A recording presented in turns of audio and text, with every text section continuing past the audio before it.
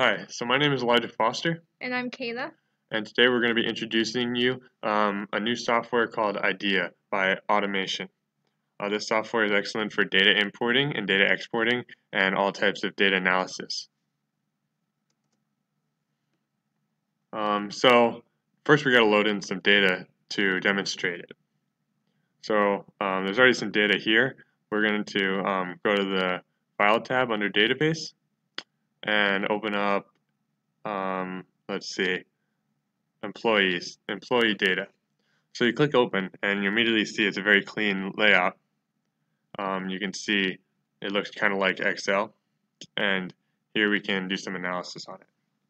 So we can first um, try to do the top records of this data. Click on top record and we want um, maybe 10 of them Yeah, so, and we want to get from uh, the salaries and just click OK and that's 10 of them. But you can find that it's all Chinese currency. so because the there's only- Chinese, yeah, Chinese currency a little bit, um, a little bit uh, more inflated. So we can go back to top records and um, and group this by um, by the country, so we can see the top ten from each country. Um, and uh, oh, I forgot to I forgot to go to the other tab. Um, let me do that again. So the top ten and the top records um, in terms of salary from each country. So here we can see um, in terms of China, Germany, Mexico, USA, we have the top salaries. And that's how you do that. Um, very easy way to sort data um, and very intuitive. Um, so next we're going to uh, do do some, let's see, we're going to uh, click on a, an icon called field statistics. So in the field statistic, you can t uh, see that the salaries um, data, and you can see the highest and the slower, and all sorts of analysis for the salary column. And we go back to data, and we can start on doing others functions. Yeah, so here we can look at a chart. Um, look at um, set the X and Y fields. Very um, straightforward, you know, set the type of chart, the standard charts.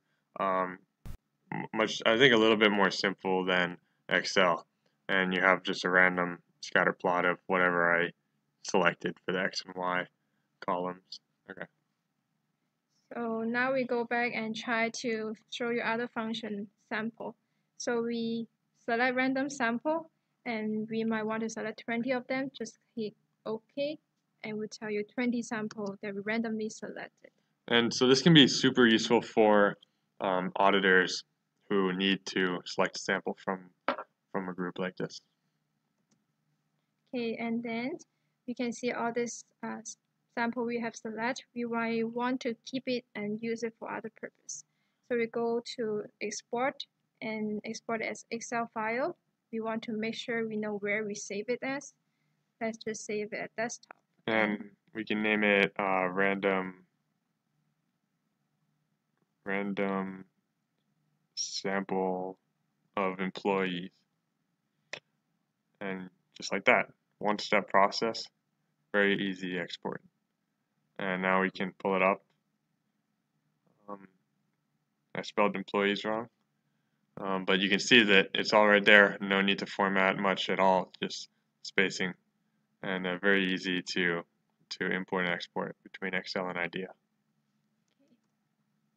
Um, And the next um, function we're going to show you is how you can import uh, data from um, internet or any data you want. So if you click on desktop, there's a different type of data you can import, like Excel and text, and we want to import it uh, from your desktop computer somewhere else. So uh, we're gonna we're gonna try to import the data that we used in class on the first day. So just to show you that this can be used for a variety of you know things that we deal with all the time uh, in terms of databases. You can just pull it right off. No formatting needed really. Uh, just look for it. Um, find the file. Now you just want to list which sheets you want to import and uh, just at the first row is just a column number, the row number. Um, and there you go, have it all nice and delineated, um, ready to be used. So this is a very powerful tool that can be used for many things. Um, and you can manipulate this data and analyze it and do all the things that we showed you and a lot more. Um, and that's our presentation. Mahalo.